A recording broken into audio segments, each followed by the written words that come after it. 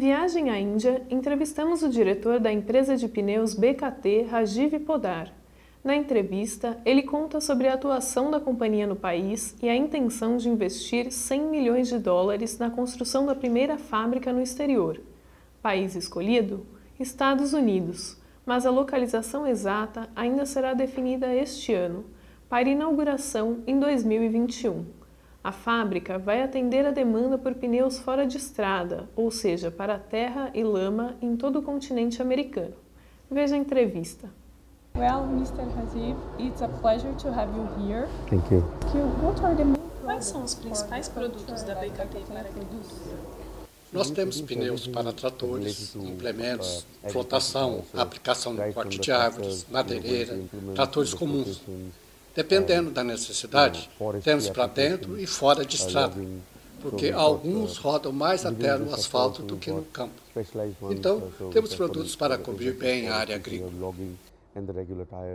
Vocês têm pneus para uso em todas as culturas? Tem alguma especialidade? Nós temos para maquinário de cana-de-açúcar, arroz, borracha, nada fica para trás. Vocês vendem pneus direto para o consumidor ou pré-instalados nas máquinas? Existem duas frentes no mercado. Uma que chamamos OE, equipamentos originais, e esses vendemos diretamente para os players internacionais. E temos as vendas locais, feitas por distribuidores nossos. No Brasil, hoje, nós temos 13 distribuidores em diferentes estados. Quantas fábricas de pneus vocês têm na Índia?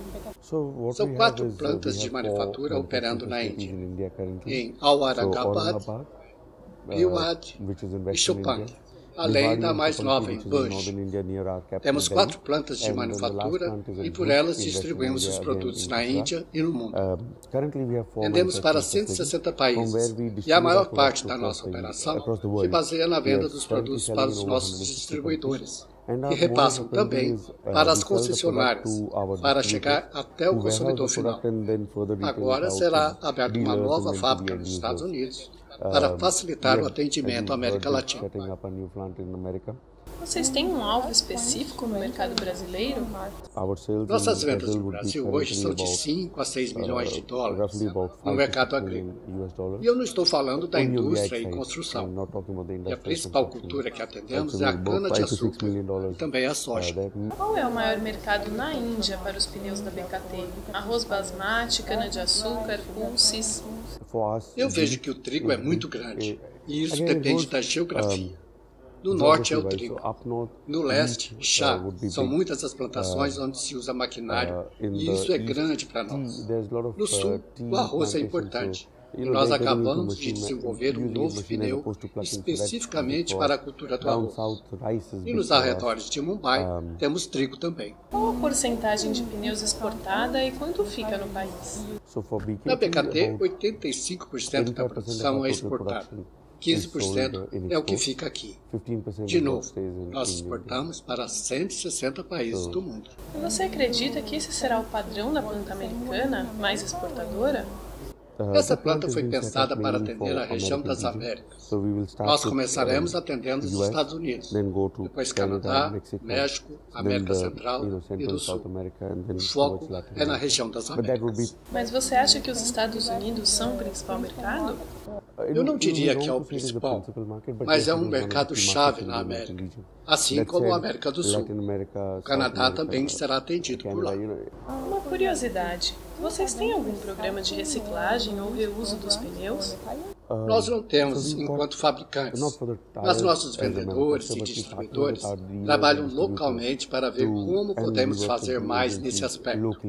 Nós temos contato com uma empresa para nos ajudar com a reciclagem. Nós trabalhamos com parceiros. Vocês dão suporte, é isso? Sim, damos suporte. O tema do meio ambiente nos é muito caro como fábrica. Nas plantas do norte, por exemplo, produzimos energia eólica para atender 40% da nossa demanda. Nossas plantas não descartam água. Reciclamos toda a água que usamos. Eu te pergunto sobre a reciclagem porque no Brasil alguns produtores usam esses pneus como bebedouro para os animais e existem pavimentos feitos de pneus. Sim, nossa indústria produz muito lixo.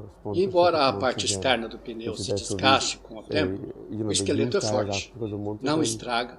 e nós reutilizamos também como bebedouro.